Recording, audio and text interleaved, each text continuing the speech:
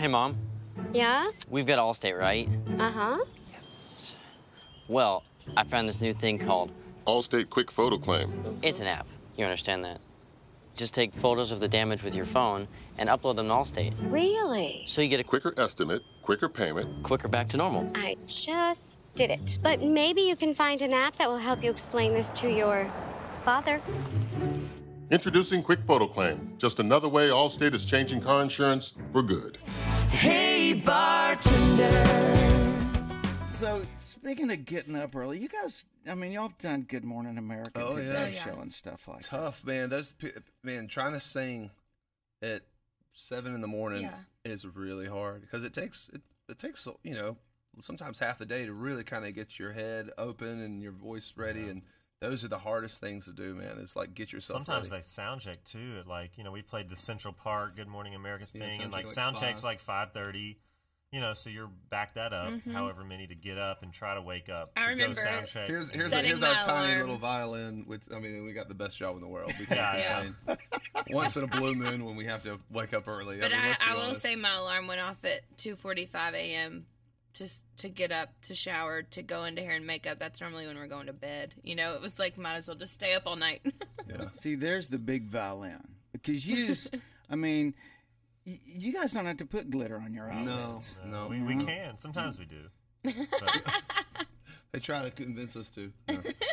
You got your own bus now, Hillary. I do. It's kind of bittersweet, but honestly, being able to be out on tour with my family is amazing. Um, my daughter just turned one in the uh, end of July, and and yeah, it's weird. I mean, we've got our nanny and the three of ours assistant actually rides on our bus. Um, so it's not empty, you know. It's not just the three of us as a family. We have a couple of others, but I miss these guys. They they changed my room out on the bus and turned it into a studio. Yeah, we actually. I see a big crocodile Yeah, uh, going on there. Yeah. And it was it, it was interesting though. You know, we kind of did like Hillary kind of moved out. We changed the thing in the back of the studio, and honestly, I mean, you we were writing we so gotta, much. Hillary but, uh, moved out. We kinda- got a dancing pole. Honestly, and- we didn't really We dish did it not that kind of studio, right? She didn't really Oh, spend sorry. she didn't Did I spend say so something much wrong? Time, though. No. Um, yeah, not that kind of studio. But she uh, she would come over. and We we wrote the whole record pretty much on our bus. You know, we would have writers come over, uh, come out on the road with us, and you got a lot of time during the day. You know, before you you go out there, and and so literally we would write a song. You know, for the next hour and a half or two, Dave would put together, you know, just a little work tape demo in the back. Hillary would sing, I would sing, Dave would sing, put it together. And it was like within a day, you know, we had this kind of one stop shop. So, you know, it was Yeah. your your your bedroom was put No, I, good use. and I would hop in and out of the bus, you know, go change a diaper, go feed the baby, come back, like you know. And they were very, they worked with me because you know that is one thing I will say. Touring has never been more fun because of having Eisele. Life has never been more fun than it is now with her. But I will say there are way more plates spinning at once than there have ever been, and so you're kind of having to jump from thing to thing really fast and multitask and and you know you do it well some days and then you really suck at it other days Are you guys ever working and she like brings the baby over and you're like, oh, great. oh great the baby No. She's we- the- probably the most chill Oh. baby. I was about to say, yeah. she's Great, she's- let me pet it. Yeah. I will say the baby, it, it, it, Eisele really does just get passed around everyone because everyone wants you know a little time with her during the day, and um, it is kind of funny. It's like just people kind of stand in line I know you'll look up hold the next, you're like, who's holding Eisele now? And she adjusts to it pretty well. You're a single uh, bartender. Yeah, Um, very cool. You wrote that with Rodney Clawson. Yes. um, we did. Yeah, Yeah. it's kind of a funny story. We were again, we were out on the road, and um, and we had stopped to uh, well, but actually before we had stopped to get a little dinner. Um, barbecue you know, Hillary was on her bus, and Dave and I and uh, and Rodney were kind of on there, and and um, so we're like, all right, what do you, what do you want to write? And Dave had this little you know work tape of this that riff, that bump bump Uh-huh. bump bump bump bump bump bump with a little loop, and we're like, man, that's kind of cool. So we kind of started kind of coming up with some melodic not real ideas. cool, but kind of cool. yeah, Yeah, just and kind uh, of. I know, not real cool. But uh, and then I had kind of pulled up, you know, on my phone, you know, the notes, just a bunch of little kind of hooks and stuff, and I had "Hey Bartender" in there. I was like, man, it'd be kind of cool to to write something like that because we w- we went into this record wanting to mix it up. I think we're known a lot more for like our mid tempos and stuff like "Need You Now," just a mm-hmm. kiss. And, but you know, we also have songs like "Love Don't Live Here" and "Looking for a Good Time," and we kind of wanted to get back to some of that because I think the more we tour and you're in these big venues, you mm-hmm. need those, and you know that. I mean, y'all know that better than anybody. I mean, it's the boot and scoot and boogies that that bring people to shows, and so we wanted to m- make a conscious effort to make a really you know kind of in your face uh, fun record, and so you know, the me- immediately that just kind of grabbed us, and we stopped and had a little dinner, and we said, Hillary, I know it's late. You know, you're probably about to go bed, about to go to bed, but we're on the heater right here. You got to come over. So of course she comes over, and it's just like, oh wow. And so we, we just we were off to the races, and, and we I wrote just love the story too, and the perspective of this girl, you know, who's just had her heart broken, and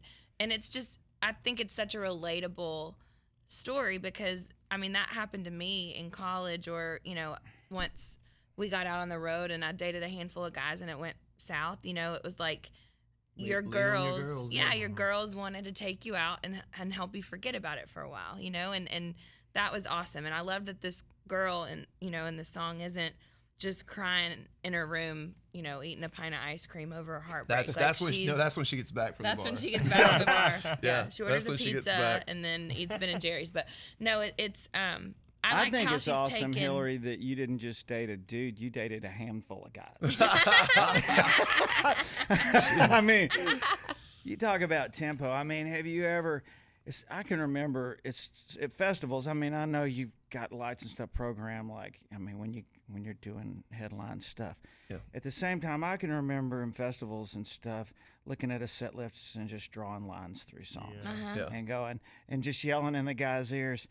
I mean, when they're fixing to count it off, we're Yeah. doing so and so Yeah. and Yeah. so and so. Forget about because you look out Yeah. there, Yeah. and They're all of a rocking. sudden the fear of God hits you, and you Yeah. go, "We got to, we got to slam dunk this thing." You know? Absolutely. We've we figured that out too. I think we've finally found a really good way to pace out the show, and it is. I mean, it's you know when you do have when you do hit them over the head, you know, with like bartender and compass and some of these things, then it like then when you do get to a song like just a kiss, it's like perfect. It's a nice breath of fresh air, and then immediately boom right back to like downtown and and so I think you know again touring and, and just having enough material to really put on the best show. I mean, I think this is this tour has been that for us, where we finally feel like we're at a point where an hour and a half, it's Yeah. a solid show from top to bottom. You're getting, Mm-hmm. you know, a couple fillers in there, but pretty much they're they're singles, and that it takes a long time, man. And Yeah. I tell you, it's um, it just it feels like this year has been kind of where everything is starting to really, okay, now we have a show. the show's coming together. rec- yeah. you know, f- this fifth record, we're going to have even more of these type of songs, and um, I don't know, we're just kind of fired up. Uh, uh, and we're just thankful too. I think that everybody stuck with us to the point to where we are now, and and where we feel like we're putting on the best show that we've ever been able to, and that's because all of these songs, for the most part, are familiar to people, and they've heard them on the radio. Um, and then I think we've just learned a lot over the years. And we feel like we've with this new record too. It's called 747, but we we, we started working with uh, Nathan Chapman, Mm-hmm. and he brought just this this crazy energy to the project that I don't know. It was just fun for us to mix it up, you know. And um, Where'd that title come from? there's a It's a song. song. yeah. There's a song called 747, but but we also thought the whole record, the, it just felt like in your face, you know. It's just moving fast. We wanted it to feel like a freight train, not really a freight train, more like a 747, Like a jet. like a jet engine. Like, yeah. But it like- is. There's Freight a- train with wings. Exact- yes, with wings. exactly. Yeah. and we were just, you know, clawing for an endorsement with Boeing. And you guys are about to get inducted into the Georgia Yeah. Music Hall of Fame, which is very cool. So again, not to ring my own bell, but I got inducted into the Louisiana Music Yeah. Hall of Fame. So I know when you're, you know, it's we all kind of us think aspire to the Country Music Hall of Fame for what we do, but at the same time, where you come from. Mm-hmm. Yeah. And for me, you know, in Louisiana and all the artists that have come from there and that whole musical heritage, tell me a little bit about Georgia and what that means to you guys. I mean, Georgia's, you know, Charles and I grew up in Augusta, and everywhere you turn, it's James Brown this, James Brown that, and, you know, Otis Redding and the Allman Brothers. And I don't know, you know, you really grow up with that ingrained, I think, in you. I mean, like you were saying, and, and I mean, that style of music. I mean, Southern rock, I mean, I remember getting a bunch of those Allman Brothers records when I was learning to play guitar. And I mean, everybody listened to it. I mean, they were from Macon, and so, I mean, everybody around Augusta and Atlanta and Macon listened to that you know style of music and that got me really into a lot of guitar playing and, and, and writing and stuff and I don't know. It, it, I think it is. It does have a really special touch when it comes from your hometown because you know sometimes I don't know. Sometimes you don't feel like maybe you know you might not be appreciated sometimes or, or remembered where you're from, and then when people recognize you, you know, stand up and say they they've loved what you guys have done and that we've represented them well.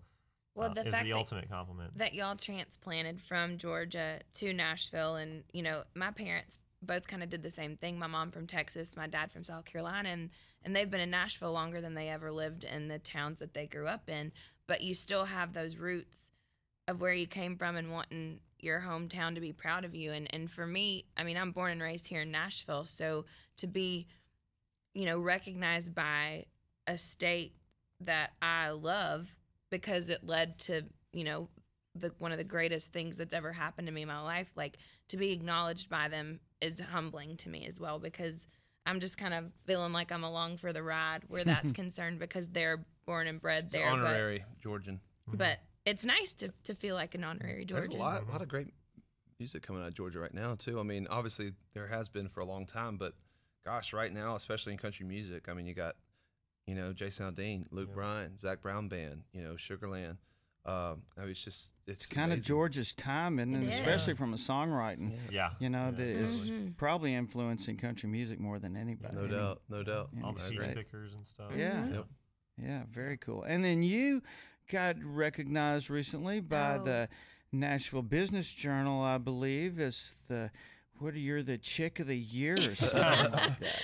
I But- Businesswoman of the year. yeah um no it's i'm so humbled to be to be recognized alongside a lot of other women um who have had an impact on the industry and and you know there's a lot of women who have been a, a very influential and huge part of our career. You know it's funny like when i was thinking about it thinking back on all of the steps that led us to where we are i mean we've had a powerful independent brilliant woman behind almost every single decision we've made.